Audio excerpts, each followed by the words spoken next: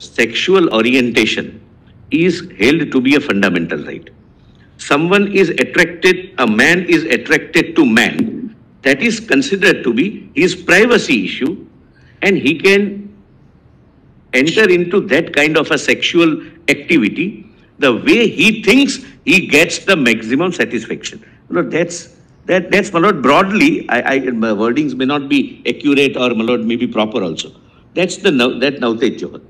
Lord, kindly visualize a situation after five years down the line, based on this very thing, that from the beginning, I am attracted to those persons who are mentioned in the degrees of prohibited relationship.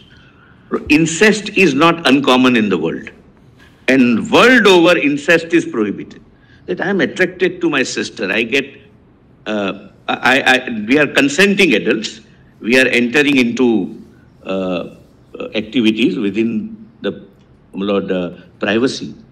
And we claim our right of autonomy, our right of choice, and our right of doing something in private domain.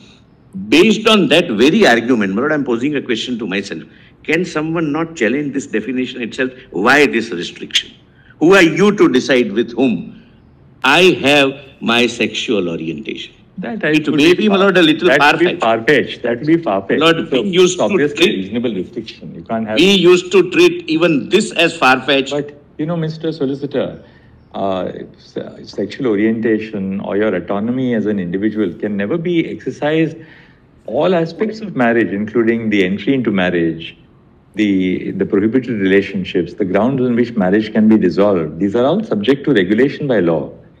So it may be very far-fetched for anybody to even argue before us that that orientation is so absolute that I can therefore commit an act of incest. No, no court will ever But suppose even polygamous, countenance polygamous marriage. Get about sanctifying it, even Somebody can challenge, my lord, the bigamy, bigamy uh, provision. Polygamous marriage, that's again governed by personal law, right? It- I mean, on the, on the. I'm, I'm not on personal law. I'm saying, my lord, if I say that my choice is polygamy, bigamy, the state has no right to. Your- it. Your argument perhaps could be more, I would say, if you're leading up to that, one can understand it.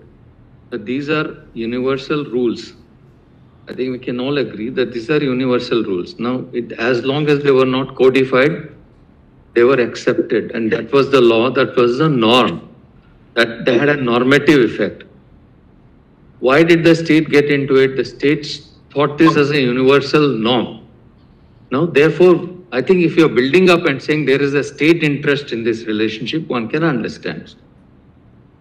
What if you're Yes. driving at that, that this is where the state comes in? But that's my submission, Like, going like, I, like I think their, their, their position too was conceded, that when it comes to age also, that there is a state interest.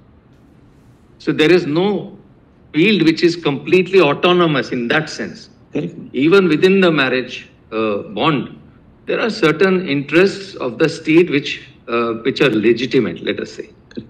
Lord, that is, Lord, in the second limb of my submission is going to be that state has no business to regulate social personal relationships. It is only in exceptional cases where the state. That would be also very an extreme statement of law. If they have made that statement, no, I'm, I'm, I'm saying something else, Lord. I can't even, Lord. I'll, I'll just complete that. State has no business as a proposition to reg, to reg, regulate any social personal relationship. That statement your lordships are saying is not a, it's an absolute statement. But I'm in, on an extension of that statement, that the state can regulate certain relationships if the state feels that it's in legitimate state interest to do so.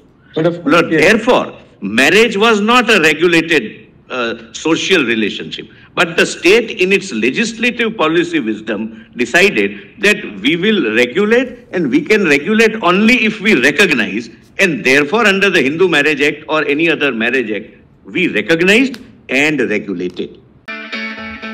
It's great to see you here. Thank you for watching our work. If you haven't subscribed yet, don't forget to click the bell icon and subscribe to Mojo Story and support independent, robust journalism.